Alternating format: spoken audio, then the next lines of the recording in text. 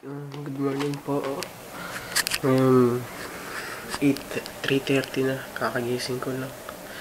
Pupunta tayo ngayon sa Manila City Hall. Doon kami magkikita ni Jepoy. Papunta ng buong Nazareno Pesta. So, paano? Papalit muna ako ng damit. Saglit lang. Kasi nagmamadali tayo. Matagal-tagal yung biyahe. Maghanap pa tayo ng jeep na sasakyan mula dito hanggang Manila City Hall. Bale, nandito pa tayo sa Project 8. Okay, bye muna. Mamaya kita-kita tayo pag papunta na tayo ha.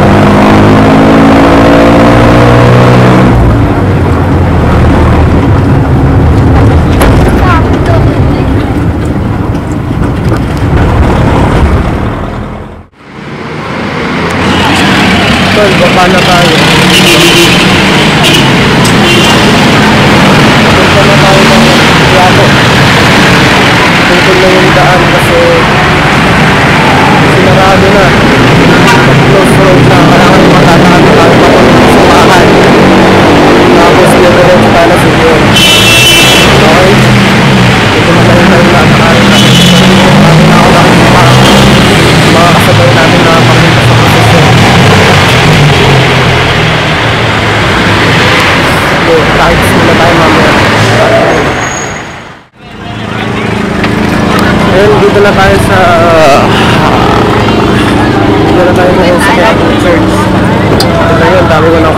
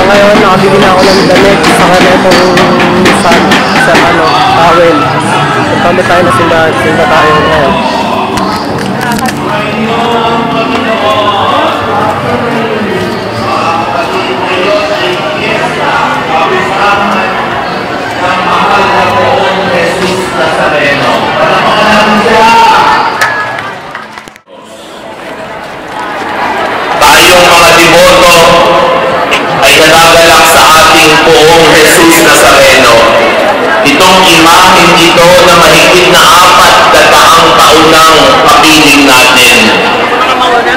Ang kagalakang ito ay ating pinahahayag ngayon sa pamamagitan ng pagmimisa at pagpoprosesyon.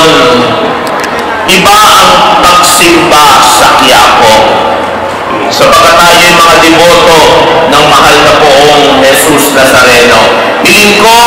sumisimba ng alas 5, makiisa po kayo sa pagmimisa. Sumagot sa mga dasal ng malakas. At sa lupain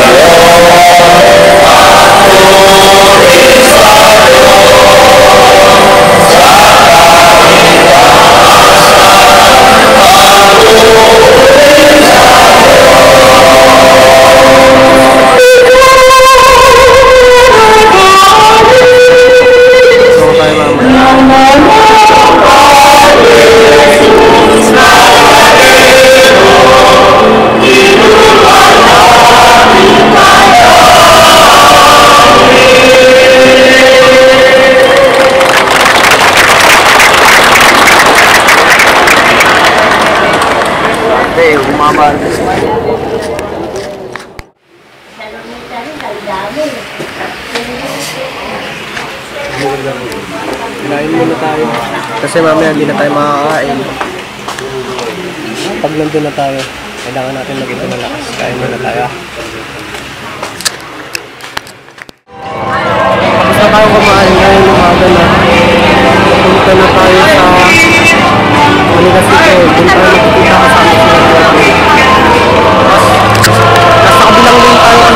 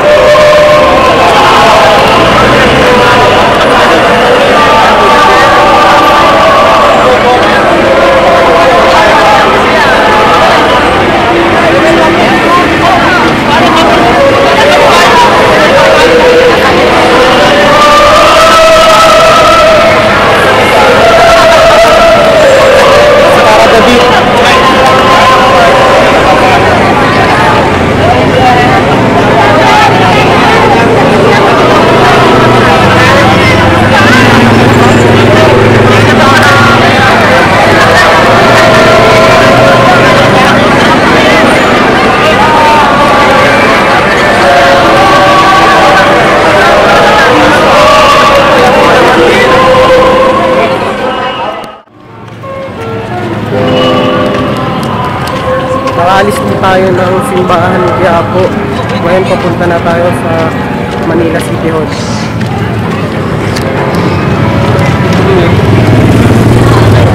Doon yun. Doon kami makikita ni ngayon sa Manila City Hall. Malayo na yung nakaraan pa ro. Ngayon papunta na tayo ng Quirino Bridge. Dito na pala ito.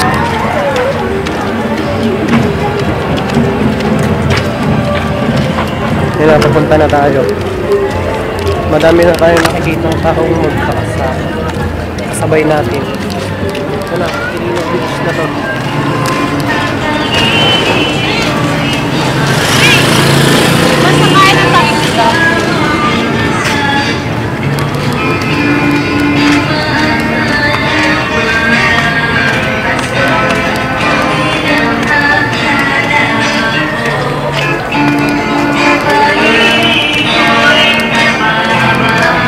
Kita nyo, madami tayong kasabay, papunta sa kami mga pabalik din.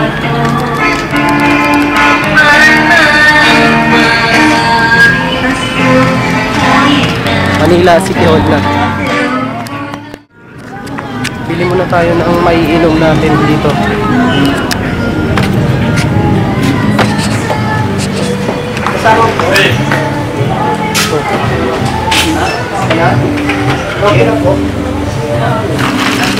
Cobra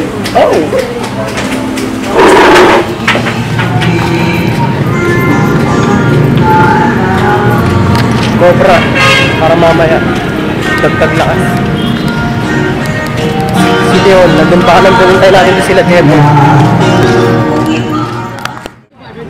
area na nagtatry kung pumunta dyan sa may Quirino Grandstand. Kaya naman makikita natin parang ah, may animong ah, posisyon na rin nangyayari dito po sa kahabaan ng uh, Pibulcos. Itong mga taong nandito ngayon, nakikita natin kanina medyo konti sila sa ano ngayon ay nakikita natin marami nang uh, nakapila rito. Pero pinayagan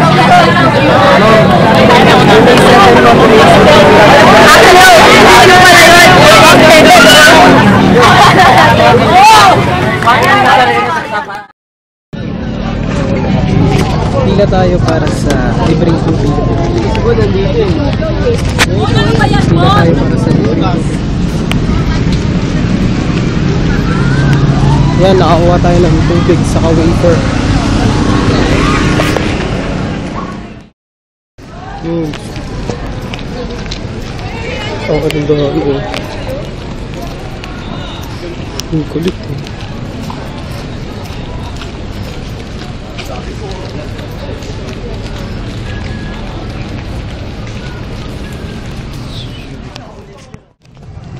Mag alas 9 na um, parami na ng parami yung tao.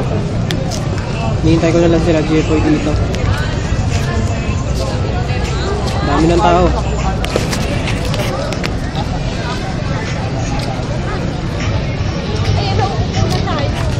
Kala nyo yan lang. Kasi nasa kalsada yun. Tignan nyo, papakita ko sa inyo.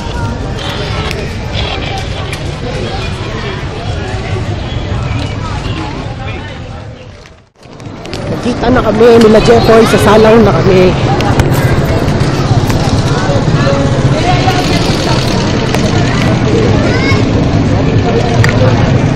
Ah, tubig! So, pasalang na kami. Nakapatay ka na ba? Ako, nakapatay na ako. Papunta na kami sa salang. Medyo malayo-layo pa ata eh. Pero papunta na kami.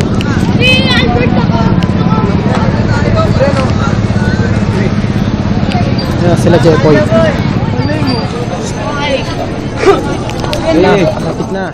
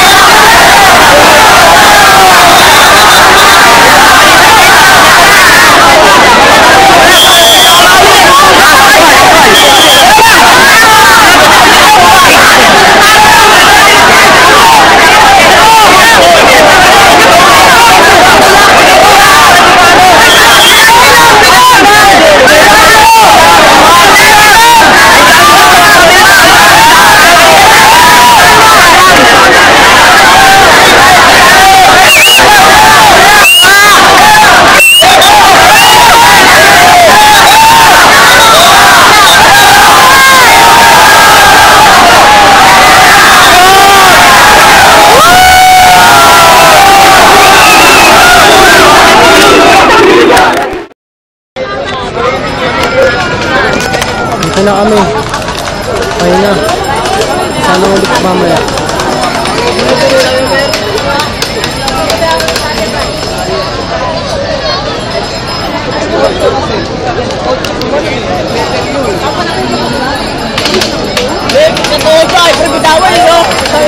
Sila, sila, sila. Patagay lang. Okay na kami. Okay na. Sana ulit mamaya. Hindi na mawala yung sabi ko dito. Tingnan mo nga ako. Nawawala nga. Tingnan mo ako.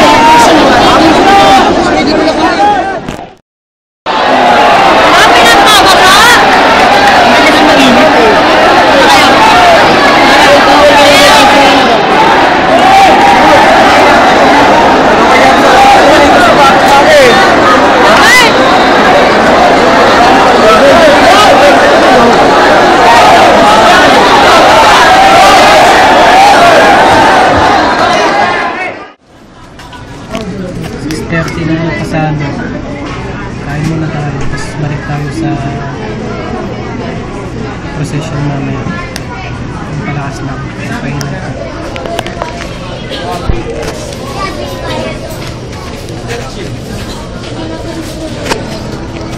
Para may lakas tayo. Tapos na tayo mag-charge. Pupunta na tayo ngayon sa procession. Hanapin na natin.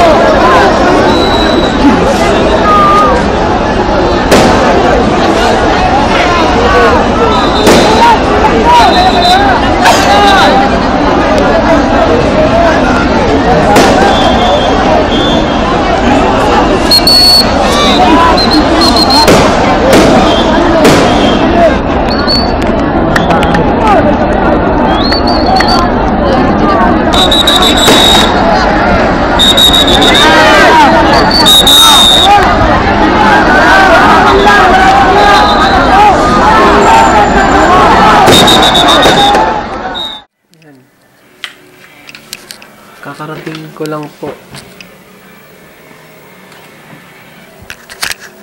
Kakauwi ko lang galing kaya po. Grabe, ang hirap. Nalobat ako kanina kaya hindi ko na na-videoan. Pero Papakita ko na lang yung ibang video sa cellphone ko na nakuha. Success! Kasama ako sa nakapagpasok sa loob ng simbahan ng Nazareno. Grabe. Tignan nyo naman yung itsura ko. Sugat. May mga sugat ako kaso maliliit lang naman. Ayan. Tapos, yung sa paa ko.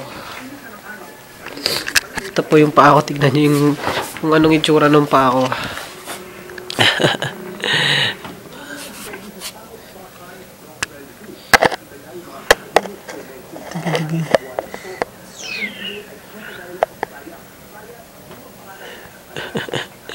Kala nyo pa, paan ng pulubian, halos ganyan po kami lahat dun.